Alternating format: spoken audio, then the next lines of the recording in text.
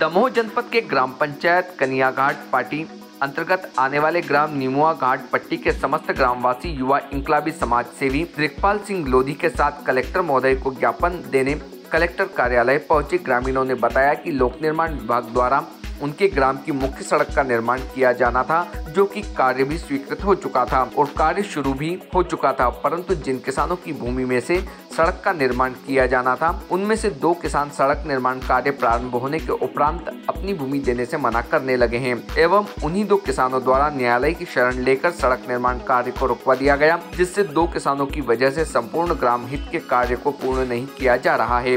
एवं ग्रामीणों का कहना था कि प्रशासन उन किसान की समस्या का कोई समाधान करे जो सड़क निर्माण कार्य में न्यायालयीन प्रक्रिया करके बाधा डाल रहे। इस दौरान समस्त ग्रामवासियों की उपस्थिति रही। भारतीय न्यूज़ के लिए दमोह से चतुर्भुज बिट्टो दुबे की रिपोर्ट। ये निमुआ घाट पट्टी है, अभाना से लगा हुआ गाँव है। तो यहाँ पिछले चार साल से सड़क निर्माण कार्य अधूरा अधूरा पड़ा है। कुछ चंद किसानों ने आपत्ति लगा दी है। पूरा गाँव सहमत है, लेकिन चंद, तीन, चार किसानों ने आपत्ति के कारण वह पूरा सड़क मार्ग रुका हुआ है। तो मैं प्रशासन से कहना चाहता हूँ, जैसे भैया ने बताया कि डीपीआर जब बनता है तो वो इसीलिए बनता है कि मुआवजे राशि का देखा जाता है, निजी ज़मीन देखी जाती किसी निजी ज़मीन तो नहीं पड़े। तो जब सड़क निर्माण कार्य शुरू हो चुका तो मतलब डीपीआर बन रहा है तो ये तो सब प्रशासन की अब लापरवाही अगर किसी की निजी ज़मीन फंस रही है। तो मेरा प्रशासन से ये अनुरोध है, ग्रामवासी बद से बदतर स्थिति जीवन जी रहे हैं, आप जल्द से जल्द सड़क का निर्माण कार्य प्रारंभ करें। अपर कलेक्टर साहब ने और अन्य अधिकारियों ने यही कहा कि मेरे संज्ञान में है, उनको जानकारी तो है इस मसले की, लेकिन वो पता नहीं क्यों रोके रोके पड़े हैं। जिन लोगों ने सहमति दी, उनकी मुआवजा राशि आई है उनके खाते में। एक महीने दो महीने कई महीनों से आई है लेकिन वो अभी तक वितरण नहीं की जा रही है।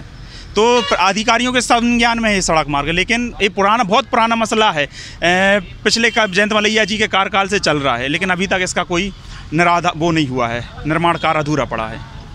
समस्या? हम लोग निमुआ घाट पट्टी से आए हैं। वहाँ पीडब्ल्यूडी विभाग के द्वारा सड़क निर्माण कार्य किया जा रहा था।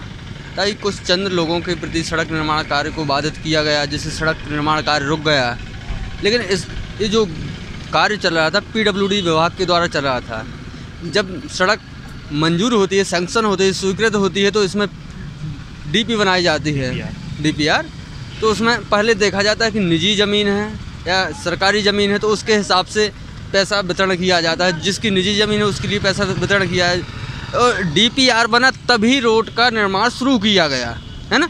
तो रोड आधी लगभग बन चुकी है, लेकिन पैसों का वितरण नहीं हुआ।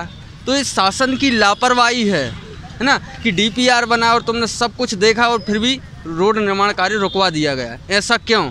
या तो फिर डीपीआर बना नहीं और काम शुरू कर दिया, है ना? और डीपीआर बना और काम रुकवा दिया गया, इसमें शासन की लापरवाही है। या तो शासन इसमें इंटरेस्ट नहीं ले रही है। इससे काम रुक गया है। तो हम यही चाह रहे हैं कि हमारी सड़क निर्माण कार्य को पूरा किया जाए। इसमें क्या समस्या आ रही है, क्या नहीं आ रही है, कहाँ समस्या है, शासन अपने हिसाब से देखे। जहाँ समस्या है, वो अपने हिसाब से निपटे।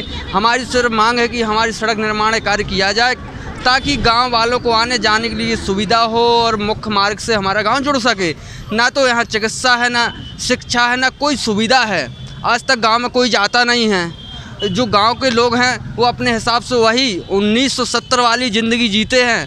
कहने को सिर्फ़ आज़ादी है, लेकिन आज़ाद नहीं है। जब कोई मुख्य मार्ग से सड़क का निर्माण नहीं हुआ है आने जाने में समस्या है तो क्या है? आज़ादी सिर्फ़ नाम है। वही गुलामी की ज़िंदगी अभी भी जी रहे हैं। कीड़ा मकोड़े की तरह जैसे नाली में कीड़ा मकोड़ा चलते हैं, वैसे ही रेंगते रेंगते जाते हैं।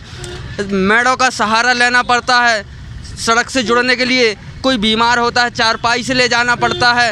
यदि ले जाने में देरी हो गई तो बीच में ही दम तोड़ देता है। ये कैसी समस्या है, कैसी दुर्दशा है इस गाँव की? क्या इस गाँव के पुराने जन्म के Subscribe now to most exciting channel ever.